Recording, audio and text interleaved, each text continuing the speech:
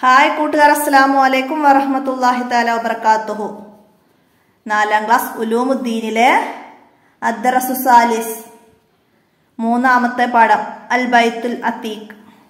നമുക്ക് പാഠത്തിലേക്ക് കടക്കാം. ബിസ്മില്ലാഹി റഹ്മാൻ റഹീം. ബൈത്തുൽ അത്തീഖ് എന്ന് പറഞ്ഞാൽ പുരാതന കഴബ.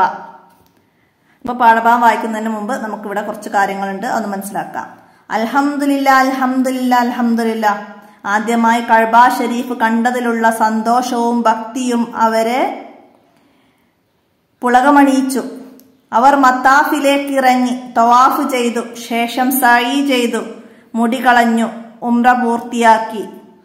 മുഹമ്മദ് ഹാജിയും മകൻ നൗഫലും പരിശുദ്ധ കഴബയെ നോക്കി മത്താഫിൽ ഇരിക്കുകയാണ്. അപ്പോൾ മുഹമ്മദ് ഹാജിയും നൗഫലും കഴബയെ നോക്കി മത്താഫിൽ ഇങ്ങനെ ഇരിക്കുകയാണ്.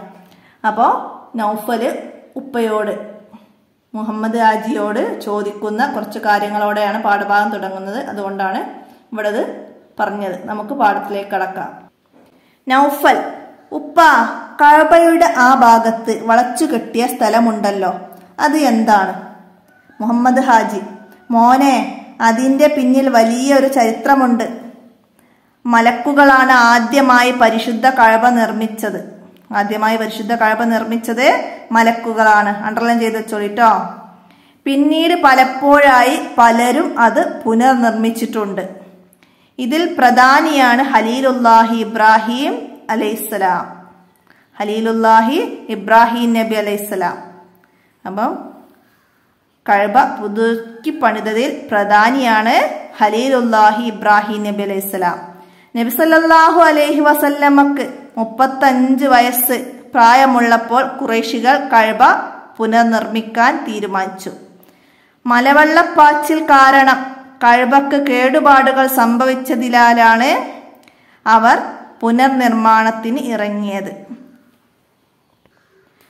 മുത്ത് നബി അലഹി അലൈഹി വസല്ലമയും നിർമ്മാണ പ്രവർത്തനങ്ങളിൽ സജീവമായി പങ്കെടുത്തു. ആളുകൾക്ക് ജോലികൾ വീതിച്ചു കൊടുത്തുകൊണ്ടായിരുന്നു നിർമ്മാണം. നബി സല്ലല്ലാഹു അലൈഹി വസല്ലമക്ക് കല്ല് ചുമക്കുന്ന വിഭാഗത്തിലായിരുന്നു. കഴബയുടെ പുനർനിർമ്മാണത്തിൽ നബി സല്ലല്ലാഹു അലൈഹി വസല്ലമക്ക് എന്ത് ജോലിയായിരുന്നു ലഭിച്ചത്? മനസ്സിലാക്കുക. കല്ല് ചുമക്കുന്ന വിഭാഗത്തിലായിരുന്നു ജോലി. അണ്ടർലൈൻ ചെയ്ത് വെക്കട്ടോ.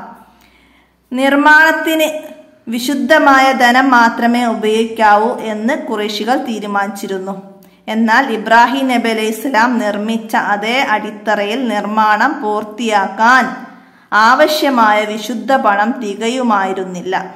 ഇക്കാരണത്താൽ അല്പം ഭാഗം പുറത്താക്കി ഇപ്പോൾ കാണുന്ന രീതിയിൽ പണി തീർക്കുകയായിരുന്നു. വളച്ചു കെട്ടിയ ഭാഗം ഹിജിർ ഇസ്മായിൽ എന്ന പേരിലാണ് അറിയപ്പെടുന്നത്. കഴബയുടെ വളച്ചു കെട്ടിയ ഭാഗം എന്ത് പേരിലാണ് അറിയപ്പെടുന്നത്? ഹിജർ ഇസ്മായിൽ എന്ന പേരിലാണ്. എന്താണ് ഹിജർ ഇസ്മായിൽ? അപ്പൊ നമുക്കത് ക്വസ്റ്റ്യൻ ആൻസർ വരുമ്പോൾ അടയാളപ്പെടുത്താം. അതിലെ സിംഹഭാഗവും കഴബ ഷെരീഫയിൽ പെട്ടതാണ്. അതായത് ആ ബാക്കി ഭാഗം കഴബ ഷെരീഫയിൽ പെട്ടതാണ്. അവിടെ വെച്ചുള്ള നിസ്കാരം കഴബയിൽ വെച്ചുള്ള നിസ്കാരം പോലെയാണ്. ഇത് കഴബയുടെ ഭാഗമാണെന്ന് മനസ്സിലാക്കാൻ വേണ്ടിയാണ് അവിടെ വളച്ചു കിട്ടിയത്. മനസ്സിലാക്കുക കഴബ വളച്ചു കെട്ടിയത് എന്തിനാണ് എന്ന് നഫൽ ഉപ്പയോട് ചോദിക്കുമ്പോൾ ഉപ്പ മറുപടി നൽകുന്നതാണ് എന്താണ് വളച്ചു കെട്ടിയ ഭാഗം എന്നുള്ളത്. അപ്പൊ മനസ്സിലാക്കുക പുനർനിർമ്മാണ സന്ദർഭത്തിൽ അൽ ഹജറുൽ അസ്വദ് യഥാസ്ഥാനത്ത് ആരാണ് വെക്കേണ്ടത് എന്ന കാര്യത്തിൽ ഗോത്രക്കാർക്കിടയിൽ തർക്കം ഉടലെടുത്തു. ഷണ്ടമൂത്തു യുദ്ധത്തിന്റെ വക്കോളമെത്തി. അപ്പോൾ കാരണവരായ അബു ഉമയ്യ പറഞ്ഞു. കാരണവരായ അബു ഉമയ്യ പറഞ്ഞു ബനു ഷൈബാവാതിലിലൂടെ ബനു ഷൈബാവാതിലിലൂടെ ആദ്യം കടന്നു വരുന്നയാളെ നമുക്കു വിധികർത്താവാക്കാം. ഈ നിർദ്ദേശം എല്ലാവരും അംഗീകരിച്ചു. അവർ ആകാംക്ഷയോടെ കാത്തുനിന്നു. അതാ വരുന്നു അൽ അമീൻ അവർ ഒന്നിച്ചു പറഞ്ഞു ഇതാ അൽ അമീൻ ഞങ്ങൾക്ക് തൃപ്തിയായി. നബിസല്ലാഹു അലഹി അലൈഹി വസല്ലമ അവരുടെ കണ്ണിലുണ്ണിയായിരുന്നു. എല്ലാവർക്കും വിശ്വസ്തനായിരുന്നു. വില പിടിച്ച വസ്തുക്കൾ സൂക്ഷിക്കാൻ അവർ ഏൽപ്പിച്ചിരുന്നത് നബിസല്ലാഹു അലഹി വസല്ലമയെ ആയിരുന്നു അപ്പോൾ ആ പ്രശ്നം പരിഹരിക്കാൻ ഹജറുൽ അസ്വദ് ആര് യഥാസ്ഥാനത്ത് വെക്കും എന്ന കാലത്തിൽ കുറേശികൾക്കിടയിൽ തർക്കമായി. അപ്പോൾ അവരുടെ കാരണവരായ അബു ഉമയ്യ പറഞ്ഞു ബനു ഷൈബാവാദിലൂടെ ആദ്യം ആരാണ് കടന്നു വരുന്നത്? അവരെ നമുക്ക് വിധികർത്താവാക്കാം എന്ന് പറഞ്ഞു. ആ വാതിലിലൂടെ ആദ്യം കടന്നു വന്നത് നബ്സല്ലാഹു അലൈഹി വസ്ലമയായിരുന്നു അവർ പറഞ്ഞു അതാ വരുന്നു അൽ അമീൻ. അവർക്ക് കണ്ണിലുണ്ണിയായിരുന്നു നബി സല്ലല്ലാഹു അലൈഹി വസല്ലമ. എല്ലാവർക്കും വിശ്വസ്തനായിരുന്നു. അപ്പൊ നബിസല്ലാഹു അലൈഹി വസല്ലമ അവിടുത്തെ തട്ടം നിലത്ത് വിരിച്ചു അൽ ഹജറുൽ അസ്വദ് അതിൽ എടുത്തു വെച്ചു. എല്ലാ ഗോത്ര നേതാക്കളോടും തട്ടത്തിന്റെ അറ്റങ്ങൾ പിടിക്കാൻ പറഞ്ഞു. എല്ലാവരും കൂടി അത് ഉയർത്തി. നബി അലൈ വസല്ലമ അവിടുത്തെ തൃക്കൈ കൊണ്ട് കല്ലെടുത്ത് യഥാസ്ഥാനത്ത് സ്ഥാപിച്ചു. അതോടെ തർക്കം തീർന്നു. അപ്പോൾ ഇത് നന്നായി മനസ്സിലാക്കുക എന്താണ്? യുദ്ധത്തിന്റെ വക്കോളമെത്തിയ തർക്കം.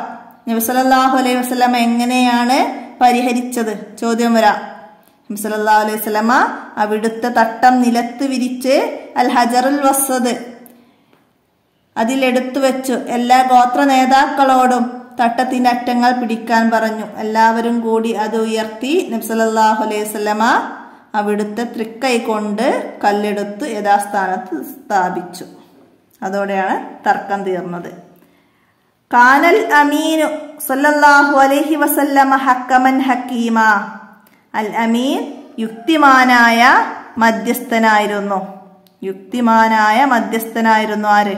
അൽ അമീൻ. മനസ്സിലാക്കുക അടുത്ത നക്ര വനഫം അപ്പൊ ഇതിലെ മീനിങ്സ് ഒക്കെ മനസ്സിലാക്കുക ഇവിടെ താഴെ വായിക്കാൻ വരുന്നതൊക്കെ നന്നായി മനസ്സിലാക്കുക. ഹിജ്റ ഇസ്മായിൽ എന്താണ്? എന്താണ് ഹിജർ ഇസ്മായിൽ കഴബയിൽ പെട്ടതും കെട്ടിടത്തിന് പുറത്തുള്ളതുമായ സ്ഥലമാണ് ഹിജർ ഇസ്മായിൽ. എന്താണ് ഹിജർ ഇസ്മായിൽ എന്ന് ചോദ്യം വരാം.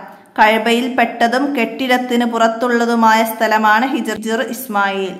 അൽ ഹജർ അൽ അസ്വദ് എന്താണ്? സ്വർഗത്തിൽ നിന്ന് ഇറക്കപ്പെട്ട കല്ല്. കഴബക്ക് തെക്ക് കിഴക്ക് മൂലയിൽ അത് സ്ഥിതി ചെയ്യുന്നു. അതൊക്കെ വായിച്ച് മനസ്സിലാക്കുക. നമുക്ക് ഇതിന്റെ തദ്രിബാത്ത് ദഫ്തർ തോലിബ് എന്ന ബുക്കിലേക്ക് നോക്കാം. നുജിബ് ചോദ്യങ്ങൾക്ക് ഉത്തരം ഏതാനാണ് കുറേശികൾ കഴബ പുനർനിർമ്മാണം നടത്തുമ്പോൾ നബി സല്ലല്ലാഹു അലൈഹി വസല്ലമക്ക് എത്ര വയസ്സുണ്ടായിരുന്നു? നബി സല്ലല്ലാഹു അലൈഹി വസല്ലമക്ക് മുപ്പത്തഞ്ച് വയസ്സായിരുന്നു അന്ന്. മുപ്പത്തഞ്ച് വയസ്സ് പ്രായമുള്ളപ്പോഴാണ് കുറേശികൾ കഴബയുടെ പുനർനിർമ്മാണം നടത്തിയത്. അടുത്ത രണ്ടാമത്തെ ചോദ്യം എന്താണ്? നിർമ്മാണ പ്രവർത്തനങ്ങളിൽ നബി സല്ലല്ലാഹു അലൈഹി വസല്ലമ എന്ത് ജോലിയാണ് നിർവഹിച്ചത്? നമ്മൾ പാഠം വായിക്കുമ്പോൾ അടയാളപ്പെടുത്തിയിരുന്നില്ല കല്ല് ചുമക്കുന്ന വിഭാഗത്തിലായിരുന്നു. കല്ല് ചുമക്കുന്ന വിഭാഗത്തിലായിരുന്നു നബി അലൈഹി വസ്ലമക്ക് ജോലി ലഭിച്ചത്. മൂന്നാമത്തത് ഇബ്രാഹിം നബി അലൈഹി സ്വലാം ഉണ്ടാക്കിയ തറയിൽ പൂർണമായും കുറേശികൾ കഴബ നിർമ്മിക്കാതിരുന്നത് എന്തുകൊണ്ടാണ്? ഇബ്രാഹിം നബി അലൈഹി സ്വലാം നിർമ്മിച്ച അതേ രീതിയിൽ കുറേശികൾ കഴബ നിർമ്മിക്കാതിരുന്നത് എന്തുകൊണ്ടാണ് എന്തായിരുന്നു? അപ്പൊ ഇവിടെ ഇതാ നിർമ്മാണത്തിന് വിശുദ്ധമായ ധനം മാത്രമേ ഉപയോഗിക്കാവൂ എന്ന് കുറേശികൾ തീരുമാനിച്ചിരുന്നു. എന്നാൽ ഇബ്രാഹിം നബി അലൈഹിസ്സലാം നിർമ്മിച്ച അതേ അടിത്തറയിൽ നിർമ്മാണം പൂർത്തിയാക്കാൻ ആവശ്യമായ വിശുദ്ധ പണം തികയാതിരുന്നതിനാലാണ് അങ്ങനെ ചെയ്തത്. മനസ്സിലാക്കിയിട്ട് എഴുതുക അപ്പൊ അത് എഴുതുക അവിടെയൊക്കെ. അടുത്തത് കഴബയോട് ചേർന്ന് പ്രത്യേകം വളച്ചു കെട്ടിയ സ്ഥലത്തിന് എന്താണ് പേര്? എന്താണ് പേര്? ഹിജിർ ഇസ്മായിൽ. ഹിജിർ ഇസ്മായിൽ. എഴുതുക. അടുത്തത് അൽ ഹജറുൽ അസ്വദ് കഴബയുടെ ഏത് ഭാഗത്താണ്? അപ്പത് മനസ്സിലാക്കാൻ പറയുന്നത് ഇതാണ്. ഇവിടുന്ന് ചോദ്യം വന്നിട്ടുണ്ട്. എവിടെയാണ്? കഴബയുടെ തെക്ക് കിഴക്ക് മൂലയിലാണ് അത് സ്ഥിതി ചെയ്യുന്നത്. അൽ ഹജറുൽ അസ്വദ് കഴബയുടെ തെക്ക് കിഴക്ക് മൂലയിൽ നിന്നാണ് സ്ഥിതി ചെയ്യുന്നത്. ഹജറുൽ അസ്വദ് എവിടുന്നാണ് ഇറക്കിയത്? സ്വർഗത്തിൽ നിന്ന് ഇറക്കിയ കല്ലാണ് ഹജറുൽ അസ്വദ്. അപ്പൊ അതൊക്കെ മനസ്സിലാക്കണം കേട്ടോ. അടുത്തത് പുനർനിർമ്മാണ സന്ദർഭത്തിൽ ഏത് വിഷയത്തിലാണ് ഗോത്രങ്ങൾക്കിടയിൽ തർക്കമുണ്ടായത്? ഏത് വിഷയത്തിലാണ്? ഇപ്പൊ ഇവിടുന്ന് എഴുതാം. അൽ ഹജറുൽ അസ്വദ് യഥാസ്ഥാനത്ത് ആരാണ് വെക്കേണ്ടത് എന്ന കാര്യത്തിൽ ഗോത്രക്കാർക്കിടയിൽ തർക്കം ഉടലെടുത്തു. മനസ്സിലാക്കുക. അൽ ഹജറുൽ അസ്വദ് യഥാസ്ഥാനത്ത് ആരാണ് വെക്കേണ്ടത് എന്ന കാര്യത്തിലാണ് അവർക്കിടയിൽ തർക്കം ഉടലെടുത്തത്. അടുത്തത് തർക്കം തീർക്കാൻ അബൂ ഉമയ്യ നിർദ്ദേശിച്ച പരിഹാരം എന്ത് എന്തായിരുന്നു? അബൂ ഉമയ്യ പറഞ്ഞു ബനു ഷൈബ വാതിലിലൂടെ ആദ്യം കടന്നു വരുന്നയാളെ നമുക്ക് വിധികർത്താവാക്കാം ഷൈബ ആദ്യം കടന്നു വരുന്ന ആളെ നമുക്ക് വിധികർത്താവാക്കാം ഇതാണ് ഉമയ്യ പറഞ്ഞത്. മനസ്സിലാക്കി എഴുതുക. അടുത്ത നബി സല്ലല്ലാഹു അലൈഹി വസല്ലമ എങ്ങനെയാണ് തർക്കം പരിഹരിച്ചത്? എങ്ങനെയാണ് തർക്കം പരിഹരിച്ചത്? അപ്പൊ നമ്മൾ നേരത്തെ അടയാളപ്പെടുത്തിയതാണ്. സല്ലാ അലൈഹി വസല്ലമ അവിടുത്തെ തട്ടം നിലത്ത് വിരിച്ചു അൽ ഹജറുൽ അസ്വദ് അതിൽ എടുത്തു വെച്ചു എല്ലാ ഗോത്ര നേതാക്കളോടും തട്ടത്തിന്റെ അറ്റങ്ങൾ പിടിക്കാൻ പറഞ്ഞു എല്ലാവരും കൂടി അത് ഉയർത്തി നബി സല്ലല്ലാഹു അലൈഹി വസല്ലമ അവിടുത്തെ തൃക്കൈ കൊണ്ട് കല്ലെടുത്ത് യഥാസ്ഥാനത്ത് സ്ഥാപിച്ചു. അതോടെ തർക്കം തീർന്നു. അപ്പം അത് മനസ്സിലാക്കിയിട്ട് എഴുതുക പഠിക്കുക. അടുത്ത നുൻഷിൽ ജുമിലാണ് വാക്യം നിർമ്മിക്കണം. എന്താണ്? കേടുപാടുകൾ. കേടുപാടുകൾ വന്ന കേടുപാടുകൾ എന്ന വാക്ക് വരുന്ന ഒരു വാക്യം. എന്താണ്? പാഠത്തെ ആസ്പദമാക്കി തന്നെ നമുക്ക് പാഠത്തിൽ അടയാളപ്പെടുത്താം. കഴുബക്ക് കേടുപാടുകൾ സംഭവിച്ചിരുന്നു. അങ്ങനെ എഴുതാം. കഴുബക്ക് കേടുപാടുകൾ സംഭവിച്ചിരുന്നു. അടുത്തത് മലവെള്ളപ്പാച്ചിൽ. അപ്പം എന്ത് എഴുതാം? മലവെള്ളപ്പാച്ചിൽ കാരണം കഴുബ തകർന്നു. അങ്ങനെ എഴുതാം മലവെള്ളപ്പാച്ചിൽ കാരണം കഴവ തകർന്നു എന്ന് എഴുതാം അടുത്തത് സന്ദർഭത്തിൽ. പുനർനിർമ്മാണ സന്ദർഭത്തിൽ ഗോത്രങ്ങൾക്കിടയിൽ തർക്കം ഉടലെടുത്തു. അല്ലെങ്കിൽ പുനർനിർമ്മാണ സന്ദർഭത്തിൽ തർക്കം ഉടലെടുത്തു. അങ്ങനെ എഴുതാം. വക്കോളമെത്തി. എന്താണ്? ഷണ്ടമൂത്ത് യുദ്ധത്തിന്റെ വക്കോളമെത്തി. തർക്കം മൂത്ത് യുദ്ധത്തിന്റെ വക്കോളമെത്തി. അങ്ങനെ എഴുതാം. അടുത്തത് കണ്ണിലുണ്ണി. നബ്സല്ലാഹു അലൈ അലൈഹി വസല്ലമ അവരുടെ കണ്ണിലുണ്ണിയായിരുന്നു. നബ്സല്ലാഹു അലൈ അലൈഹി വസല്ലമ അവരുടെ കണ്ണിലുണ്ണിയായിരുന്നു. അടുത്തത് നൊയ്ദു ഫിക്ര കണ്ണിക എഴുതാനാണ്. കഴബ പുനർനിർമ്മാണ സമയത്ത് ഗോത്രങ്ങൾക്കിടയിൽ ഉണ്ടായ തർക്കം. എന്തായിരുന്നു തർക്കം? അപ്പം അത് ഈ പുനർനിർമ്മാണ സന്ദർഭത്തിൽ തുടങ്ങിയിട്ട് അതോടെ തർക്കം തീർന്നു എന്ന അവസാന പാരഗ്രാഫ് വരെ നിങ്ങൾ വായിച്ച് മനസ്സിലാക്കുക. എന്നിട്ടത് ചുരുക്കി എഴുതാൻ നിങ്ങൾക്ക് കഴിയണം. അപ്പം ഞാൻ ചുരുക്കി ഒന്ന് പറഞ്ഞുതരാം. എന്താണ്? പുനർനിർമ്മാണ സന്ദർഭത്തിൽ അൽ ഹജറുൽ അസ്വദ് യഥാസ്ഥാനത്ത് ആര് വെക്കുമെന്ന കാര്യത്തിൽ ഗോത്രങ്ങൾക്കിടയിൽ തർക്കമായി. തർക്കം മൂത്ത് യുദ്ധത്തിന്റെ വക്കോളമെത്തി. അപ്പോൾ കാരണവരായ ഉമയ്യ പറഞ്ഞു ബനു ഷൈബ വാതിലൂടെ ആദ്യം കടന്നു വരുന്നയാളെ നമുക്ക് വിധികർത്താവാക്കാമെന്ന്.